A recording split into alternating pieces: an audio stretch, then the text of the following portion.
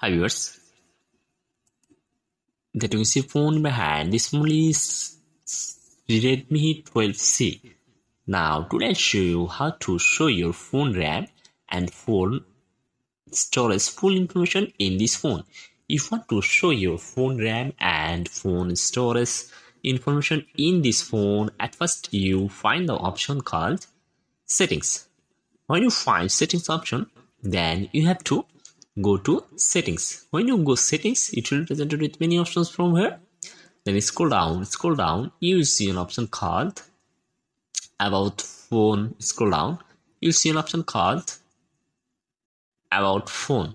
Find about phone option then you have to go to about phone. When you go about phone you see your phone. Storage information. This phone is 128 gb and use 2.25.1 gb and if you want to show your phone storage information phone ram information go to scroll down you will see an option called details info and spaces. Then you have to click on it and show your phone ram. Your phone ram is 6 gb and external ram added 6 gb total ram is 12 gb and your phone storage is 128 gb so if you want to like this video please subscribe